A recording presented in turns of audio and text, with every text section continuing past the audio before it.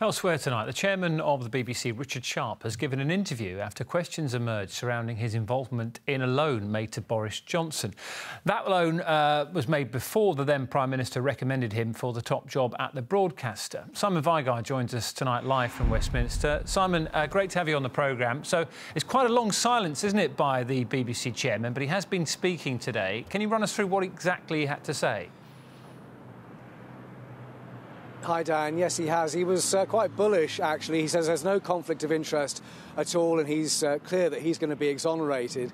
Um, he absolutely denies organising this loan for Boris Johnson in December 2020. It was a few weeks before he was appointed chairman of the BBC, which is a government appointment. Uh, Mr. Sharp says that yes, he was at a dinner party, but uh, no, he didn't organise the loan, and that is backed up by uh, Mr. Johnson. But the Commissioner of Public Appointments is now looking at his role as you will hear, uh, Mr. Sharp is confident he's going to be cleared. I'm confident that he will um, determine that I was appointed on merit. That's obviously for him to conduct that investigation and process. It was a highly rigorous process, I can tell you, being part of it. Very tough interview, and I'm sure that process was fully and carefully recorded, so it can be minuted and, and seen whether my appointment was done on merit. Uh, let's move on to the, the, current Prime Minister and the chairman of the Tory party, Nadhim Zahawi, has been a lot uh, in the press in the last sort of 48 hours or so. And this also involves Boris Johnson, doesn't it, Simon?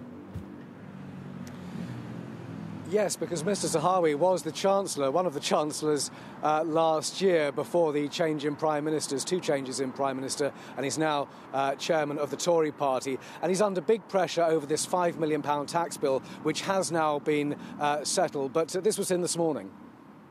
You're going to resign, Mr. Zahawi? Do you feel under pressure to resign, sir?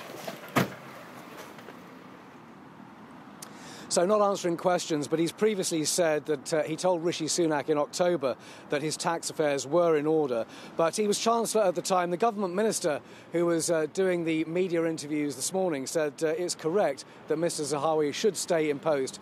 But what he said was hardly a ringing endorsement. Well, my understanding is that at the time that he was appointed, um, there were no outstanding uh, tax issues. Uh, clearly, uh, these new facts relate to a prior period, um, you know, under a different prime minister, um, but it's going to be fully investigated and the but full facts something will come this to light. prime minister clearly feels he ought to have known about. That's why he's asked for an investigation. Well, the prime minister feels there are serious questions to answer, and that's why he's announced an investigation. Uh, I suppose that the key question, Simon, is when we might know the answer to those serious questions that need to be answered. Uh, we don't know, uh, Dan. There's no timescale on this. It's the PM's new ethics advisor who's looking into it.